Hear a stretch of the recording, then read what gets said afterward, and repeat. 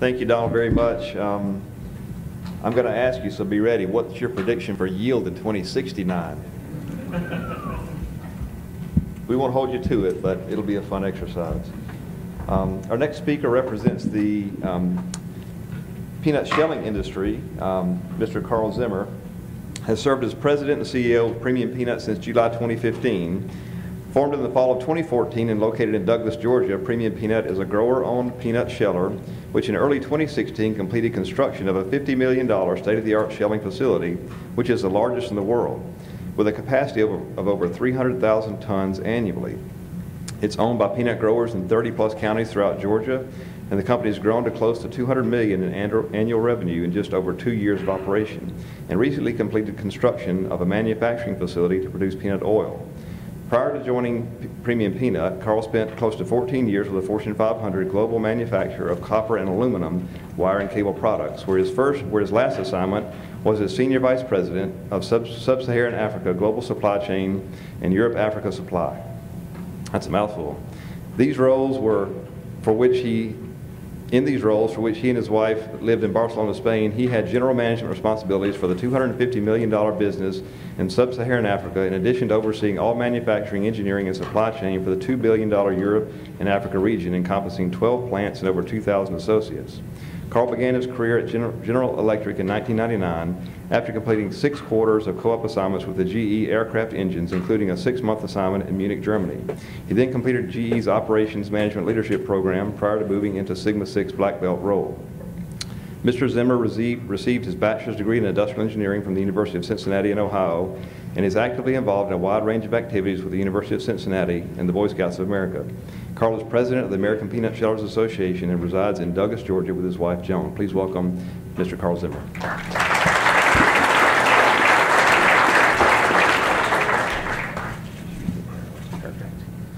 All right, well, thank you and good morning. Uh, my day job is, is at Premium Peanut, but my, my part-time job, if you will, is, is president of the American Peanut Shellers Association. And I think we're doing a lot of neat things to support the future of the industry and to support the potential vision for 50 years from now. Um, I was glad to, to hear Chris and, and, Donald's presentations. We, we did not collaborate beforehand, but we're saying many of the same things. Although I would argue that for the peanut industry to be successful for 50 years from now, we have some work to do today. You know, actions are often driven by incentives. You need the right incentives in place to drive the right actions.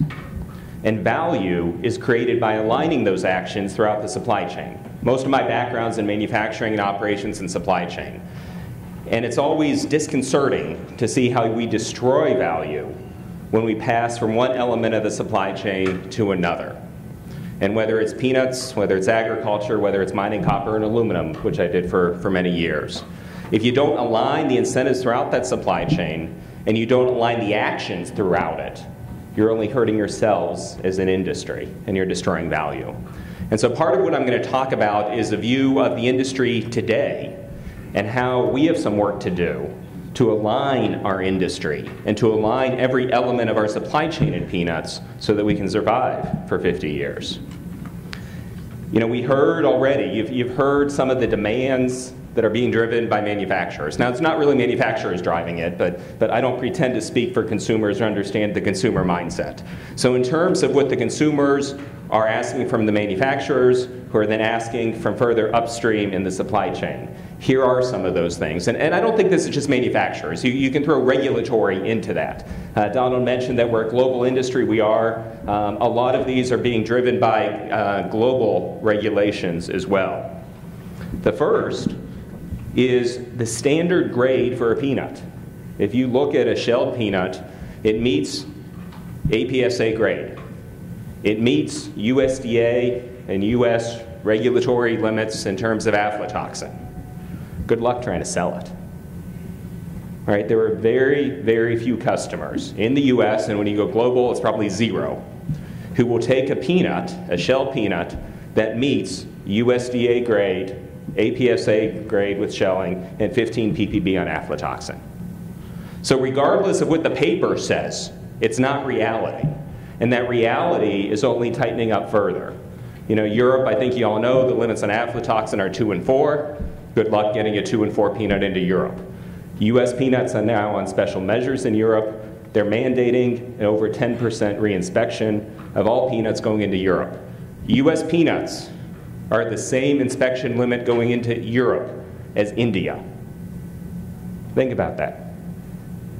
We pride ourselves on a lot of what we do as an industry in terms of growing a great quality product, shelling a great quality product, having good testing and controls in place. That's not being recognized by the world. U.S. peanuts in Europe are at the same level of inspection as peanuts from India. That is only going to continue. A lot of it is driven by risk mitigation. Whether it's in the U.S. Food Safety Modernization Act or other regulations in the EU or elsewhere, there's additional regulations that are coming on board in terms of security of supply, in terms of food safety, in terms of mitigating the risk. Those will continue. Traceability. Donald mentioned some of this. I agree with him, that's where we're going as an industry. You know, when I joined the industry, it's well, we can't go back to the farm. It's a commingled product when it gets to the buying point. Well, it's easy to say, but at some point we're going to be forced to change the thinking on that. When you could take lettuce, my wife was in the produce business for years. When you could take lettuce not just back to the field, but back to the row in that field. Right, for lettuce. Lettuce is a commingled product when it gets into the plant. All right, it's coming from peanuts. Sustainability, we heard about that. Targeted sourcing. Targeted sourcing, in my mind, is when a manufacturer or a consumer says, well, I want peanuts from Donald Chase's farm because I know he's done A, B, C, D to his farm. I like what he's done. I want his peanuts. Right? These are some of the challenges that I think we're going to have to figure out how to deal with, how to confront. Some of them may not be realistic. I would argue several of them are not realistic. But then we need to work to change consumer perceptions or to present another alternative to meet those demands that are being placed on us by regulatory agencies and by consumers. So now let's go upstream one step in the supply chain. So how are shellers dealing with that and how are we evolving to deal with some of that? We have multiple product streams in shelling. To a large degree, the grade that a farmer gets at harvest doesn't mean a whole lot to a sheller. We all do separate types of grading, separate types of analysis, separate types of regrading to get information so that we can group the product together appropriately to meet our customers' demands. Because the current grading system, and I'll get to that in a minute, doesn't, doesn't allow us to do that. So what does that mean? It means a peanut is not a peanut. We're looking at different attributes, we're looking at different varieties, we're looking at different characteristics of that farmer stock and that peanut to try and figure out how to meet our customers' demands. That's only going to continue. Because a lot of times, if we group farmer stock or similar type farmer stock together, we can deal with it. You know, we have lots of tools in the industry to deal with burrowing bug, to deal with aflatoxin, to deal with all these different types of things. But if it's all mixed together, it's near impossible to economically shell it. So now we have to start segregating it more. You see more segregations, you see more testing, you see more regrading. That's all fine, but it's all suboptimizing the supply chain. It's adding additional costs into the supply chain that is making our product more expensive. Not a good thing for the future. So how do buying points look at this? Well, buying points are driven by processing tons. Most of them today, back to the incentives, back to, back to incentives drive action, they're incented based on processing tons. How many tons did you buy? How many tons did you store? How many tons did you grade? It's about efficiency at harvest. Turn those wagons, turn those trailers, get them back into the field, back to the farmer, so that they're not waiting as they're harvesting. And provide overall good service to their customers, which are the farmers. So as you're starting to see here, what the manufacturers are asking, driven by consumer demand, does not line up with what the shellers are doing. And now you're starting to see it diverge even more. That the buying points are driven by incentives that I would argue are directly contradictory to what shellers need to meet our end customer demand. So now go back one more step in the supply chain, back to the growers, peanut farmers. What are they driven by? Maximize the grade. Maximize the payment from USDA or on the USDA pay scale. It doesn't come directly from USDA. But produce the highest grading peanut per that USDA scale. That, by the way, was created 50 years ago, thereabouts. Hasn't been updated since. In, I mean, there's tweak it every year, but it really hasn't been updated in 50 years. Hopefully 50 years from now will be updated. It must be updated, right? They're also driven by economic viability. We need farmers to be successful economically. It's not a good time on the farm, not just for peanuts, but, but, but in agriculture in general for growers throughout the country, right?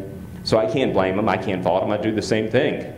I work for growers. They need to maximize that value of the peanut, but the value drives actions. And that value today is defined by a USDA grading and payment scale that's 50 years out of date. So what does that drive?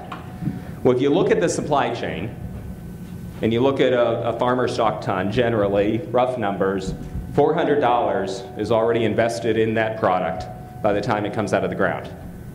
$100 then at the buying point, it's cleaning, drying, store, buying, storing, and $100 in shelling, rough numbers.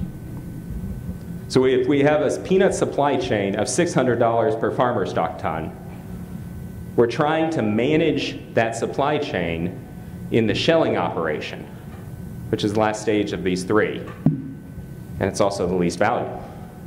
How do we drive those incentives back up the supply chain so that we align the whole supply chain so that we meet our end customer demand? Because we have disincentives and we have disconnects throughout that supply chain. You look at splits and LSKs as an example. You know, there's deductions for high levels of splits that a farmer gets. There's deductions or lower payment, lower value that USDA gives for LSKs. So what does that drive? It drives at the buying point. Well, don't dry it down as much because if you dry it down farther, you're going to create more splits it's going to hurt my grade, it's going to hurt my value. So what do we do? We potentially put wet peanuts in a farmer stock warehouse, which drives afla propagation. I would much rather that product be dried another point or two. I would much rather more splits be created. But if you put drier, more consistently dried product in that farmer stock warehouse, you're going to reduce your risk of afla propagation. The data says, the data proves it. There's the data there. But the incentives aren't there to do it. We look at damage. Once you get to a seg 2, you go from 355 basis grade, $355 basis grade, down to $125 basis grade. It's a cliff. So there's lots of incentives to say don't go above 3.5%. You know, do you, if you have some that are some ends, some corners that may be high damage, can you dilute them in to a wagon truck from the same field and get a 3.4%, get a 3.3%? It's not the right thing to do from consistently ensuring quality throughout the shelling process and then into our customers. Same thing on foreign material. You know, if you sometimes you can't control it, weather, etc. You got to pick when you have to pick. But sometimes, you know, foreign material is okay if it speeds that harvesting process. We'll get it out at the buying point potentially. But it adds costs and risks throughout the supply chain. So I would argue a lot of our incentives throughout the supply chain are not aligned. And so it's driving actions that are counterproductive throughout each step of the supply chain, which is reducing our profitability. It's reducing our costs. And as we look to compete with India, remember Europe considers them the same as the US, as we look to compete with India, in Senegal, in China, we need to have the most efficient supply chain. Not just the most efficient growers, not just the best buying points, not just the highest quality shelling plants. We need to have the most efficient supply chain to be able to deliver a quality product and meet those challenges that are coming over the next 50 years. So just to give you a, a couple examples of what this drives, this data is not exact, but, it, but, it, but it's pretty close. So if you look at foreign material, LSK's damage and aflatoxin, and you look at it at harvest, and then you look at it, I call it pre-shelling. If you do regrading, you know, prior to when that farmer's stock comes into the shelling plant, what does it look like? Foreign materials typically one and a half times. LSKs are two times. Damage is three times. And aflatoxin is more than three and a half times. This is looking at that farmer stock at harvest and looking at it then when it comes into the shelling plant. And I would argue because of some of the things I mentioned, where we don't have the incentives aligned throughout that supply chain, we're destroying value. We're destroying value. Some of these things you can't control completely. You know, once you harvest farmer stock, it's going to degrade in value over time, but how can we minimize that degradation in value? How can we minimize the creation of LSKs? How can we minimize aflatoxin propagation in storage? It destroys value if we don't do this. Some of it's storage conditions. There's lots of research and work going on on that. We need to continue to drive that. Some of it's inaccurate grading and sampling error, both at harvest but also pre-shelling. No system is perfect. And a lot of it is also handling practices. But the results are real. And the results tell us that we're adding cost and inefficiencies throughout our supply chain. And if we continue to go down this route, we're not going to meet those challenges that are coming in the next 50 years because we won't be economically competitive and we won't be producing quality products. So what can we do? What, what should we do starting today to prepare ourselves for the future? I would argue we need to reward every level of the supply chain for actions that add end market value. We need to move away from rewarding farmers and growers for actions that deliver a better grade that just creates more difficulty and more cost for the buying points and shellers. We need to value shelled product in a way that's directly linked to what the manufacturers and the consumers would like. And then I think if we get that value scale changed, we can start driving actions that preserve that end market value at every step versus destroying that value. So as you're doing research and as you're looking at opportunities and projects, I think our collective challenge is how do we consider all elements of the supply chain? Don't just look at maximizing yield on the farm, but look how that impacts the sheller. Don't just look at reducing aflatoxin in storage, but then how does that impact the growers and the shellers? How do we consider the entire supply chain as we look at the projects and research we're doing? One of the things that's going on today is we're, gonna, we're trying to improve efficiency in grading. It's a project led by federal state, the USDA, LMC, and Georgia Tech are involved with that. How do we speed up the grading process at harvest? That's a great project, right? We need to move faster with it, and, and we're working on that. But we've also just launched, launched an initiative um, as, as an industry. And we had all elements of the industry in a, in a kickoff meeting here a few weeks ago in terms of how do we do grading phase two. And grading phase two is not just about new technology, it's not just about doing it faster. You know, the project that Federal State's leading is working on that. What we're going to look at is how do we change that whole value scale? How do we potentially change that USDA payment scale? Once again, to align the value back to the farmer to reward actions and to drive actions that are going to allow us to create a better product, higher quality product at a lower cost. We need your help to do that though. Peanuts, in many ways, have relied on historical knowledge and have relied on um, a very insulated perspective. We need to broaden that perspective. And you all are in the front lines of that. How, when you're looking at things to improve our great product, can we incorporate best practices? Can we incorporate ideas from other products, from other areas of the world as we look to do this? I believe we have a great product. I believe we have the best farmers and buying points and shelling plants in the world.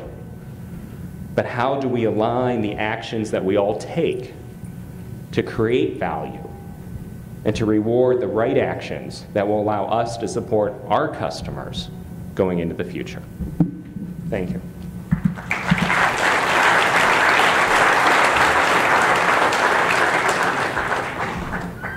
Thank you, Karl. That's a, a really nice perspective across the whole industry, so sure to generate some questions there. I have a few